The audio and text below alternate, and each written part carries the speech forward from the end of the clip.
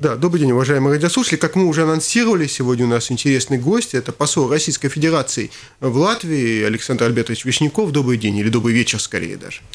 Ну, если по погоде смотреть темно уже, поэтому добрый вечер. Да, добрый вечер. Уважаемый хотя... Абик, уважаемые да. радиослушатели. Хотя, ну, не всегда так вот получается, что доброе, не всегда добрые новости у нас, но тем не менее, вот, может быть, начнем, вот, интересна ваша позиция, ваш взгляд, и взгляд, точнее, Российской Федерации на только что состоявшиеся выборы на Украине, Верховную Раду, вот э, как в Российской Федерации оценивают эти выборы?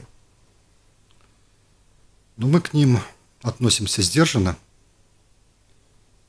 считаем, что они состоялись. Э, конечно, говорить о том, что они прошли абсолютно демократично, абсолютно свободно – и полностью соответствует международным избирательным стандартам, ну, невозможно.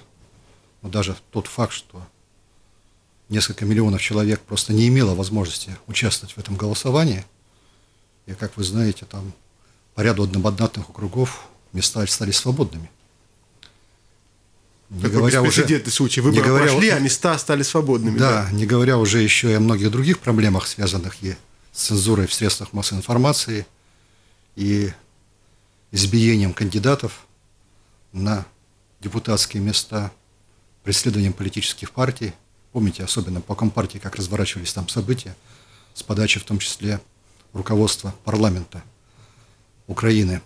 Но, тем не менее, это шаг в правильное направление по разрешению того кризиса, в котором находится Украина, особенно ее юго-восток. Поэтому полагаем, что эти выборы позволили в конечном итоге продвинуться вперед с точки зрения формирования власти, которая может, если она использует эту возможность, начать наконец-то уже не заниматься риторикой революционного характера, а заниматься конструктивной работой по решению острых проблем государства украинского, в том числе и диалога со всеми регионами, этой большой страны. Тем более, я так понимаю, Со что всеми, позиция России, что это внутриукраинская проблема, не конечно, украинская, конечно, российская. Конечно, конечно. Поэтому по результатам выборов может сформироваться власть, с которой Россия готова вести диалог в лице соответствующего парламента. Хотя, конечно, первые там, заявления и формирование правительства, которое начнется, тоже будет, видимо, очень сложный процесс. Там, к сожалению, прошли и те силы, которые э, не остыли еще от революционной терминологии майдановских замашек, так я бы выразился, и уже сейчас заявляют о том, что нам никакие оппозиционеры здесь не нужны, а если они появятся, то мы тут с ними разберемся. Это что, цивилизованный разговор будущих парламентариев? Но я надеюсь, что все-таки страсти улягутся, и будет с кем в данном случае взаимодействовать Российской Федерации. Кстати, вот пример буквально новости последнего дня, положительные новости, что тогда, когда объединяют усилия такие государства, как Россия, Украина и Евросоюз, по то можно газа, найти да. решение и двигаться вперед. Это по поводу газа. Поэтому я надеюсь, и по другим вопросам мы хотели бы надеяться, что мы также шаг за шагом найдем соответствующие решения и будем продвигаться вперед – а не топтаться на месте и тем более не возвращаться назад, а назад это в том числе военные действия, которые там разворачивались в крупномасштабном формате. Поэтому и следующий шаг, который должен быть сделан сейчас, в следующее воскресенье, это выборы 2 ноября, выборы на территории Луганской и Донецкой областей в соответствии с теми договоренностями, которые были у контактной группы Минской, которые зафиксированы в соответствующих решениях этого переговорного процесса. Видимо, сейчас многие об этом некоторые... подзабыли, потому что говорят, что ничего подобного такого не было, да? Нет, там сейчас идет спор по поводу того, что э, надо их проводить не 2 ноября, а 7 декабря, как обозначено в законе, который запоздала, но все-таки приняла Верховная Рада с подачи президента Порошенко. Но дело в том, что когда шел переговорный процесс – то был определенный график проведения важных действий в соответствии с теми договоренностями, которые были публично представлены.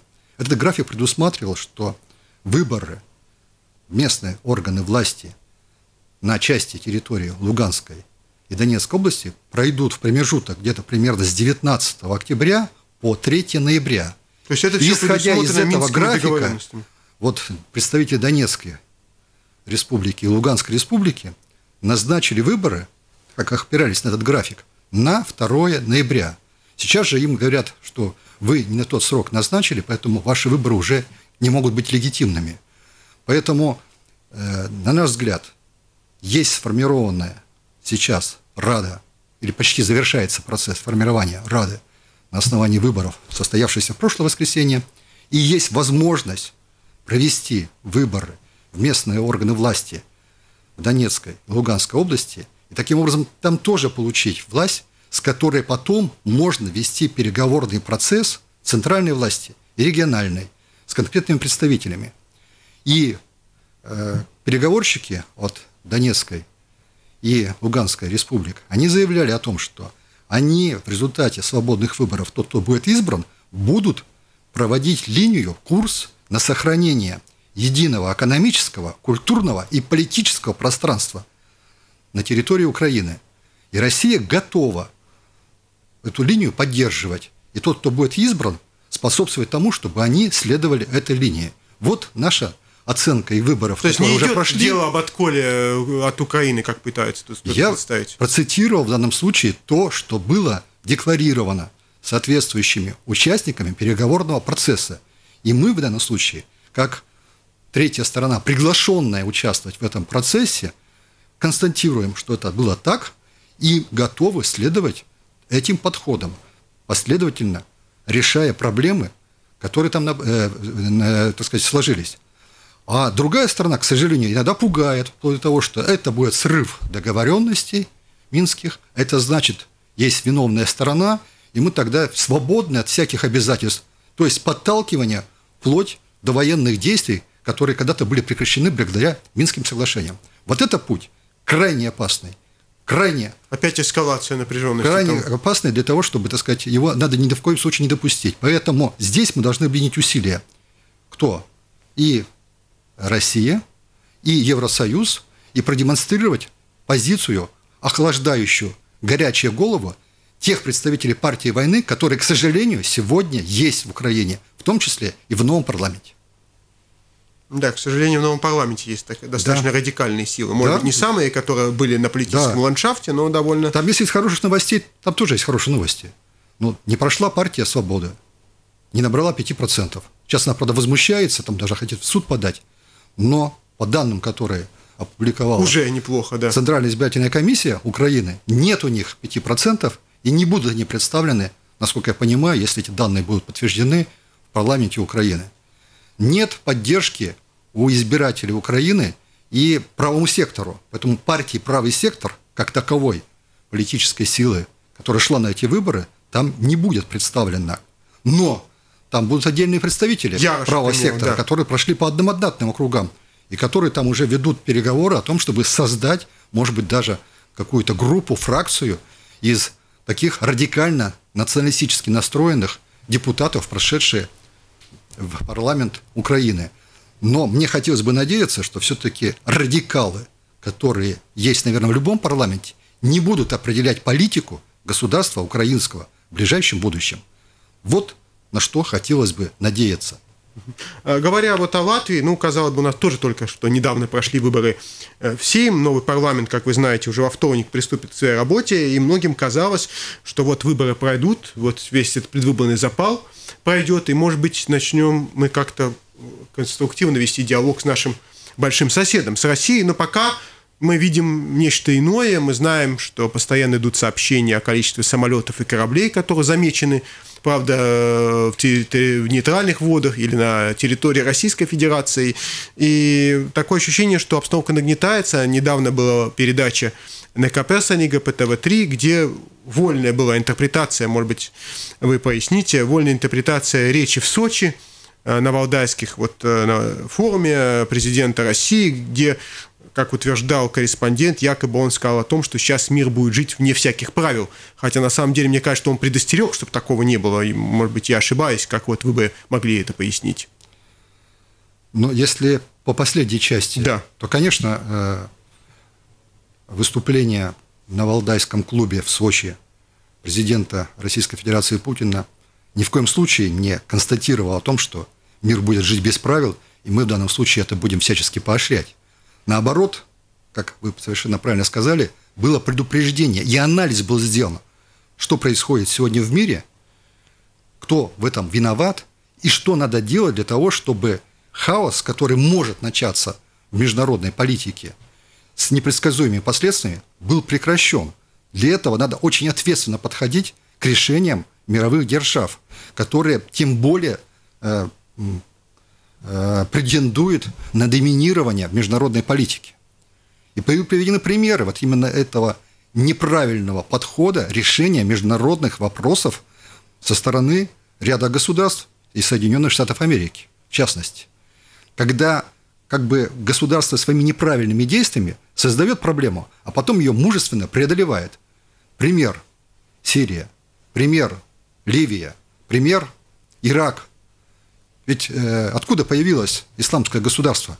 Оттуда. Оттуда. И от той политики, которая была направлена на то, чтобы вот не нравится нам власть в том или ином государстве, не слушается она советов наших, мы должны ее убрать. Для этого есть у них оппозиционеры, в том числе и вооруженными группы людей, которые готовы в этом участвовать. Давайте мы будем их поддерживать, давайте их будем финансировать, потому что они правильные оппозиционеры, и они борются за демократию и за справедливость. А теперь все. Доборолись, что после этого Ливия как государство вообще не существует. Факт? Факт. Ирак как государство еще, можно сказать, пока существует, но испытывает огромные проблемы в противостоянии с теми оппозиционерами, которые... Они вышли из-под контроля полностью. Да, да, да. Так это что? Это не ошибки, что ли? Это грубейшие ошибки, которые уже приобрели международное, глобальное звучание. И поэтому, называя среди своих врагов и угроз, которые сейчас существуют реально в мире, э, президент Соединенных Штатов Америки называет на первом месте Россию, э, вирус Эбола и исламское государство. Да. То есть признано даже этой державой, насколько это страшная угроза. Задается вопрос, кто ее породил, кто ее спонсировал. Так же, как возникает вопрос, хорошо, на какие средства она сейчас существует? Сейчас-то. Говорят о том, что она-то смогла контролировать соответствующие э, нефтяные места, продает эту нефть. Что неизвестно, кому она продает, Нельзя сделать так, чтобы этого не происходило. Те же, так сказать, санкции применить именно к тем, кто это покупает, чтобы не питали их этими долларами грязными, и которые направлялись потом на войну с мировым сообществом, в том числе Соединенные Штаты Америки, разве это нельзя предпринять? Так нет, еще других виновных, и санкции объявляют совершенно против других. Поэтому это именно говорил президент Путин, когда общался со своими, в данном случае, не со своими, а с участниками Валдайского клуба в городе Сочи. Кстати, в этой части я э, анализировал разные материалы по выступлению Путина э, в мировой печати, в различных странах. Я не увидел ни одного солидного какого-то анализа со стороны здесь э, политологов, экспертов, журналистов Латвийской Республики. Кроме вот таких совершенно некорректных совершенно э, оторванных от реальности того, что обсуждалось на Валдайском клубе, заявление, которое вы привели мне в пример в начале вопроса, который вы мне сформулировали. Да, анализ Это я печально. не увидел. Да. И печально почему еще? Потому что по существу возразить-то нечем. Вот чем можно возразить тому, что я только что с вами говорил и с радиослушателями относительно тех угроз, которые реально создали конкретные страны и которыми сейчас вынуждены бороться. Чем? Да, это реальный факт, и мы видим, что там да, происходит да. в этих горячих точках. У нас много звонков. А может если, быть, да, а если да. говорить еще по вопросу вот, э, э, антироссийской риторики и вообще русофобии, которая тут временами зашкаливала, особенно во время избирательной кампании. Это да. Мы все наблюдали. То я все-таки надеюсь, что выборы-то все-таки прошли, а может быть на следующей неделе будет уже сформированное правительство, то есть закончится и как бы второй раунд после выборов, который происходит, формирование правительства, все рассядутся по своим местам и уже запоют, может быть, другим немножко голосом. И главное это надо работать, надо решать реальные проблемы, которые существуют в экономике, в наших, в том числе двусторонних отношениях и в международных отношениях. Тем более, что Латвия буквально через два месяца будет впервые в своей жизни, в своей практике председательствовать в Евросоюзе. Поэтому очень бы хотелось, чтобы председатель-то не задавал тон противостояния, истерии – которое, к сожалению, наблюдается иногда даже от высоких должностных лиц. Да, мы, к сожалению, пока, может быть, выборы помешали, не услышали оппозиции Латвии во время председательства именно в сфере взаимоотношений с соседними странами, ну, с Россией, наверное, в первую очередь. Вы тоже пока не услышали, да, что же будет... Мы слышали о восточном партнерстве, но это нечто иное, и мы уже были свидетелями одной акции восточного партнерства, да, у соседей. Ну, по крайней мере, тот э, путь Э, реализации программы «Восточное партнерство», который реализовался последний год и который привел к последствиям украинским, не дай бог повторить еще кому-то. Да, я думаю, наверное, не стоит. У нас звонки аж по двум линиям. Может быть, мы успеем принять хотя бы один звонок в этой первой части. Э, добрый день, слушаем вас. Добрый день. Добрый. У меня одна поправочка есть. Вот э, сказали, что это ошибки во внешней политике да, э, США. Это не ошибки. В, в Организации Объединенных Наций сформулировано определение агрессии.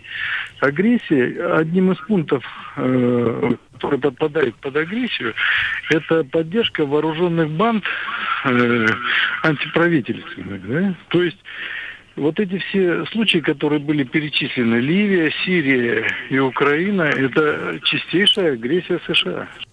Вот так, одно мнение радиослушателя, к примеру. Ну, Но вы как дипломат высказались э, более да, сдержанно. По сути, мы с вами не расходимся в оценках но так как мы в разных весовых категориях и в разном статусе находимся, отсюда и наше выражение. Да. Э, вот все-таки э, такой короткий вопрос перед перерывом, возвращаясь вот к Латвии.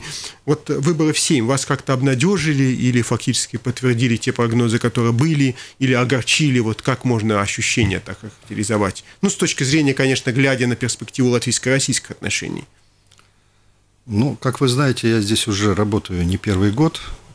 И даже, не первые выборы. Даже застал уже не первые выборы в качестве чрезвычайного полномочного посла. То э, неожиданного что-то не произошло с моей точки зрения и по тем прогнозам, которые мы имели, тем более с учетом той истерии э, русофобской, которая здесь наблюдалась которая повлияла, поэтому, видимо, да? Поэтому, конечно, видно, что в результате этой истерии тот, кто ее затевал, получил некоторую прибавку в своих голосах. И против кого она направлена, тот кое-что потерял. Потерял. И это можно было прогнозировать, и это мы сегодня констатируем. Но еще раз говорю, выборы уже позади, и теперь задача остыть от этого предвыборного ажиотажа, угара и спокойнее, рассудительнее заниматься конкретными делами, которые нужно вести в государстве. Э, да, напомню, у нас в гостях посол Российской Федерации в Латвии Александр Альбертович Вишняков. Небольшая пауза на новости и рекламу. После перерыва вернемся в студию. Э, да, еще раз добрый день. Напомню, у нас, или добрый вечер, у нас в гостях чрезвычайный полномочий посол Российской Федерации в Латвийской Республике Александр Альбертович Вишняков. Вот, э, может быть, несколько слов еще. Действительно, это горячая тема, по крайней мере, особенно в латышских СМИ все время обсуждаются вот эти самолеты, корабли, при том интересно, что мы можем читать, что подсчитывают, сколько их там было замечено и так и, далее. И не только самолеты, не только корабли, но еще и подводная лодка, да. которую два, две недели искали. В Швеции. Э, да, Потом шведские службы сказали, что что это что-то не, не было никакой лодки, да? Нет, э, официально разведывательная служба Швеции дней пять, по-моему, назад заявила о том, что это была утка, потому что ни какой подтверждающей информации о том, что какая-то там подводная лодка находилась, на самом деле не было. То есть это было вброшено в информационное пространство, непроверенный факт, и на основании его несколько миллионов долларов было потрачено на, на поиск, того, на чего поиск нет. того, чего вообще не было. И предмета ничего не было. Причем даже Латвия даже включилась в этот хор, что да, потенциально это может угрожать, тогда мы должны иметь в виду то-то, то-то, то-то. Более того, даже была информация, что якобы видели, как один из военных кораблей России на свой борт принял мини-подводную лодку, намекая на то, что это вот именно была, видимо, та подводная лодка. То есть это вот уже фантазии в больном воображении некоторых людей доходят до такой степени. Что касается самолетов, ну вы же отлично знаете, что Российская Федерация, ее территория – это в том числе и Калининградская область. И в Калининградской области ни для кого не секрет, что есть воинские части, вооруженные да, силы известно. Российской Федерации.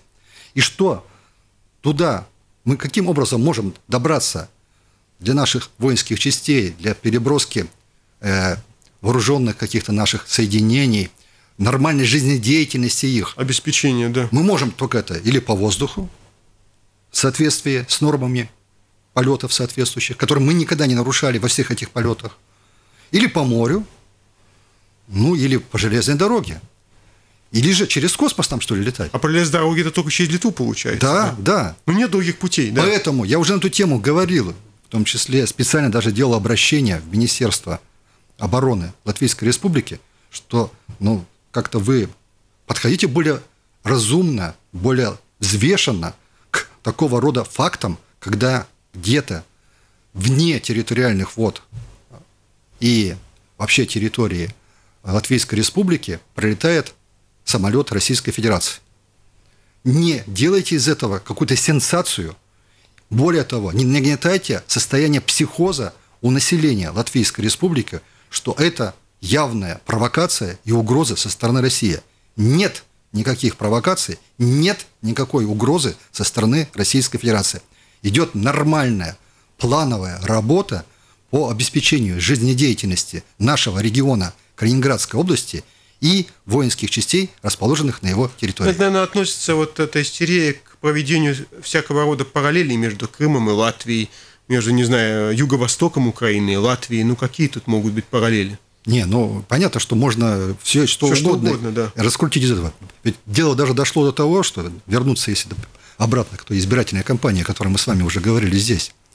Э, ведь во время избирательной кампании, именно во время, я подчеркиваю, был такой вброс на государственном латвийском телевидении, что якобы российское посольство занимается вербовкой наемников для участие в военных действий на территории юго-востока Украины. Да, это Донбасс, прозвучало. Где неназванные лица, не показанные лица утверждали, что им якобы со стороны представителей посольства России здесь, в Латвии, делались такие предложения, обещались огромные деньги за участие в этих действиях на территории Украины. Когда нас спросили по этому поводу, после того, как показали этот сюжет ЛТВ, спросил после того, как показал уже. А как вы относитесь к нему? Мы тут же подали ноту, ноту в МИД Латвийской Республики, что это абсолютная провокация, это клевета по отношению к посольству Российской Федерации с целью разжечь неприязнь к нашему государству и в какой-то мере способствовать разжиганию здесь межэтнических конфликтов, в том числе многонациональной Латвии. Что должно было бы делать, если бы это было действительно на самом деле, как это показал ЛТВ?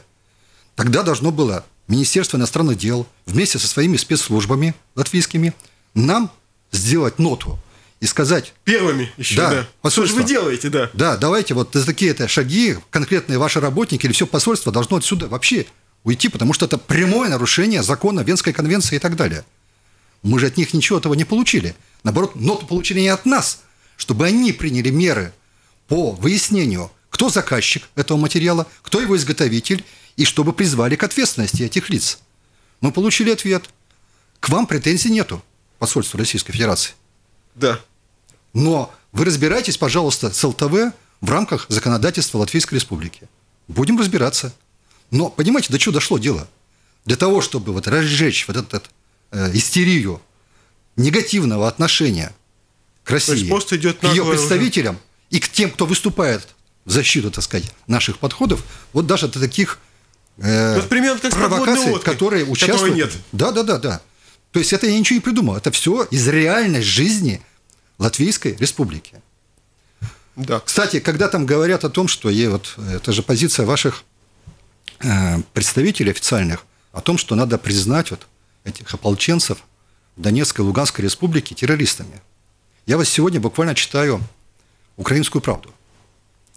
Там интервью губернатора, недавно назначенного э, Луганской области, назначенным президентом Порошенко. Порошенко, да. Его спрашивают, а правда ли, что вот пророссийские настроения у большинства жителей Луганской области, которые вы возглавляете? Он говорит, правда. До 95%. Сам признает, да. Да, в основном 80-90. И только в некоторых частях где-то процентов 30. А почему это происходит? Он говорит, а потому что, э, во-первых, власть себя ведет, украинская, недолжным образом. Вот сейчас, когда зима впереди, надо принимать меры по решению жизненных вопросов. Для того, чтобы людей было тепло в домах, для того, чтобы отремонтированы были те разрушенные здания, больницы, школы. Ничего не делается. А это, кстати, тоже записано в том э, э, соглашении Минском контактной группы, что будут приниматься первоочередные меры по обеспечению жизнедеятельности и подготовки к зиме этих территорий. А там ничего не сделано, да, вообще да. ничего. И в этой части, говорит, ко мне, говорит, относится лично хорошо, а вот к власти украинской плохо. Это говорит в данном случае губернатор, назначенный Порошенко. Поэтому, когда говорят о том, что там действуют так называемые террористы, игнорируя полностью факт, что там народ устал от того, как с ними обходится и как с ними поступает официальные власти Украины, это совершенно необъективная оценка того, что происходит в этом конкретном регионе. Да. Еще говоря о Латвии, такой вот неприятной тенденции у нас э, наметилась, чего, я думаю, никто не ожидал, что фактически санкции, если так можно сказать, уже начали применяться к нет-политикам. Да, ну, мы знаем всю эту историю с участниками «Новой волны», часть которых не пустили. Сейчас к ним прибавился еще и Охлобыстин, и я так понимаю, что список отнюдь далеко не закрыт деятелей культуры, судя по намекам, которые вот мы сейчас слышали. К сожалению, намеки, да, звучат и дальше, но я бы очень хотел надеяться, что все-таки, вот, предвыборный угар и вот этот ажиотаж, который был во время избирательной кампании, все-таки будет сейчас стихать, в том числе и в действиях, особенно представителей Министерства иностранных дел Латвийской Республики. И э, я надеюсь, что все-таки вот наше в свое время подписанное соглашение, протокол о сотрудничестве между нашими Министерством иностранных дел. Хотя бы в этом направлении, да. да. Э, будет все-таки выполняться. И некоторые, так сказать, э, позитивные тоже сигналы по этому поводу, я знаю, присутствуют. В частности, я уже говорил о том, что у нас проходили уже консультации на уровне директоров департаментов соответствующих э, российского и латвийского МИДа по вопросам европейского сотрудничества.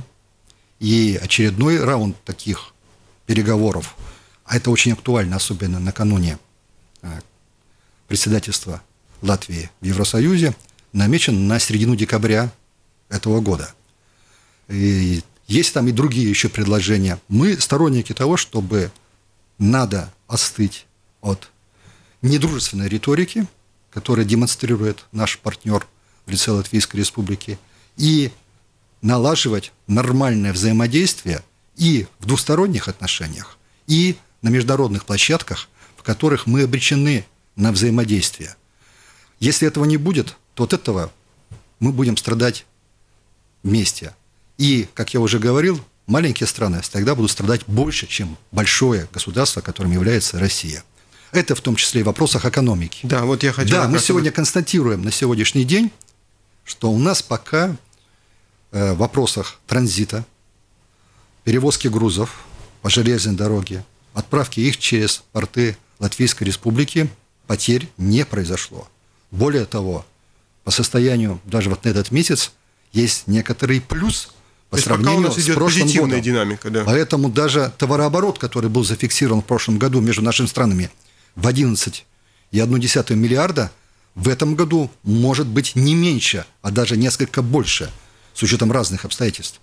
Но это все хрупко, и все это можно испортить испортить, и потом как-то обратно наверстывать будет очень и очень сложно.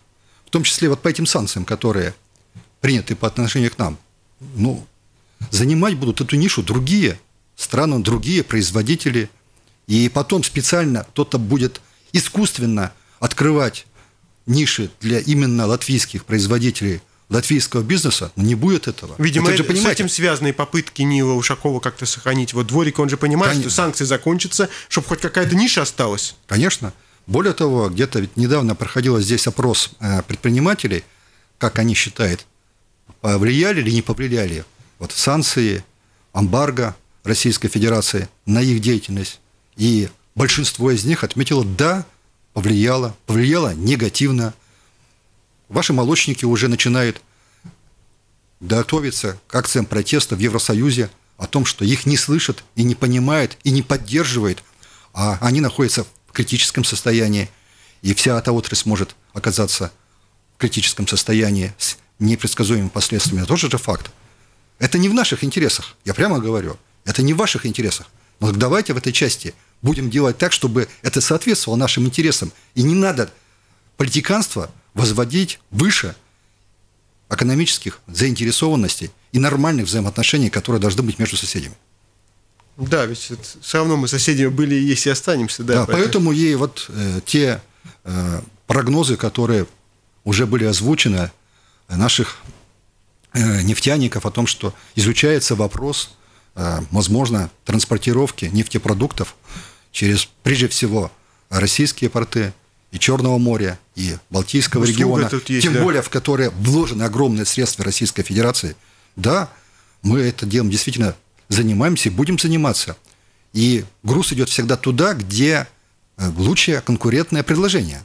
А если это конкурентное предложение проигрывает и экономически, и политически, то, конечно, оно не рассматривается любым представителем бизнеса.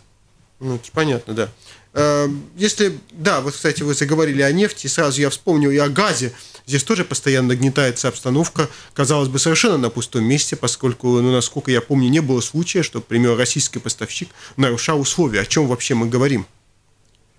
В этой части э, Россия на примере сотрудничества с Латвийской Республики ярко показывает, как она относится к выполнению своих обязательств.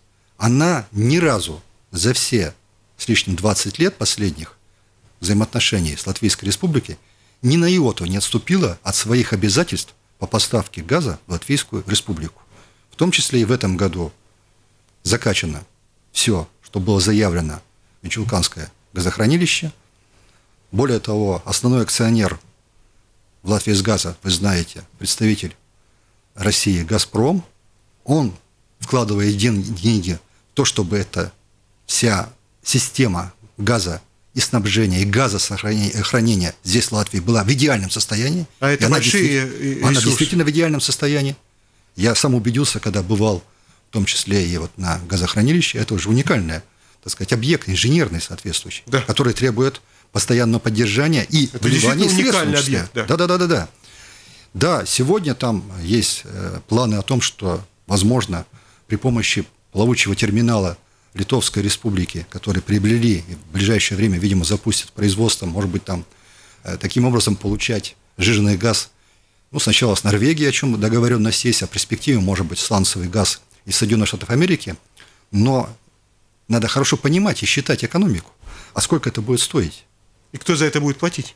Ну, платить будет население, естественно. Ну, это понятно, да. И в этой части, вы же знаете обязательства, которые наложило литовское государство на потребителей – газа у себя э, в Литовской Республике, по-моему, 25% они, э, представители, потребителей газа в Литовской Республике в обязательном порядке должны получать от этого терминала жиженного газа.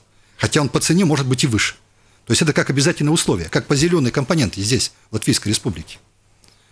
Но ведь может получиться так, что цена-то будет даже не на десятки процентов отличаться, а может быть в разы даже отличаться. И что? Это все должен будет проглотить э, в данном случае производитель. Так это приведет к тому, что он будет не конкурентен на рынке со своей продукцией. Тогда разорение уже будет. Поэтому вот политиканство, оно может привести к серьезным экономическим проблемам и к самому настоящему банкротству. Надо же это тоже просчитывать. Э, да, вот так вот завершая нашу сегодняшнюю интересную беседу, тем не менее хотел задать вопрос, но мы видим, что так, так у нас складывается пока очень напряженные отношения, и тем не менее, вот если все-таки мы перейдем от этой вот от риторики и от санкций, к прагматичному сотрудничеству. Вот что, какие все-таки проблемы сейчас, на ваш взгляд, такие актуальные, которые, в принципе, требуют решения, особенно после того, как вот этот предвыборный запал законч... закончится. Я имею в виду латвийско-российские какие-то актуальные проблемы, которые надо было бы решать на повестке дня. Надо снимать с повестки дня антироссийскую риторику. Надо прекращать расширением э, черных списков – надо вести политический диалог на уровне меж, э, нашего государственного общения в лице, прежде всего, Министерства иностранных дел и некоторые, так сказать, раскид того, что это может получиться и будет продолжаться, я вам сказал, у нас имеются, так надо, чтобы эти ростки были, которые укрепились и дальше развивались, а не подкосили их на корню – в том числе, возможно, новые руководители, которые будут во главе соответствующих ведомств здесь, в Латвийской Республике.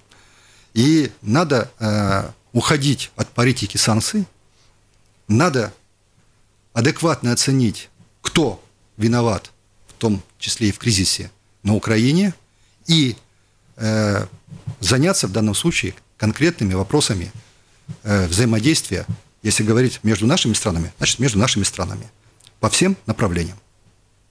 Ясно. Ну что ж, мы тоже будем на это надеяться, поскольку действительно, ну, все-таки мы соседи. Из этого нужно в первую очередь исходить, мне кажется. Да? Ну. Конечно, конечно. И э... в этой части наша позиция, э, э, путь санкций – это не наш путь. Эмбарго – это вынужденная мера по защите нашего да? товаропроизводителя, прежде всего, нашего сельского хозяйства. И э, мы готовы к диалогу, мы готовы к сотрудничеству, но призываем наших партнеров вести себя прилично – а не заниматься в данном случае наускиванием на Российскую Федерацию, в том числе и население Латвийской Республики. Да, Александр Альбертович Вишняков у нас был в студии, чрезвычайный полномочный посол Российской Федерации в Латвии. Большое спасибо. Спасибо и вам. Всего доброго и хороших выходных. Спасибо.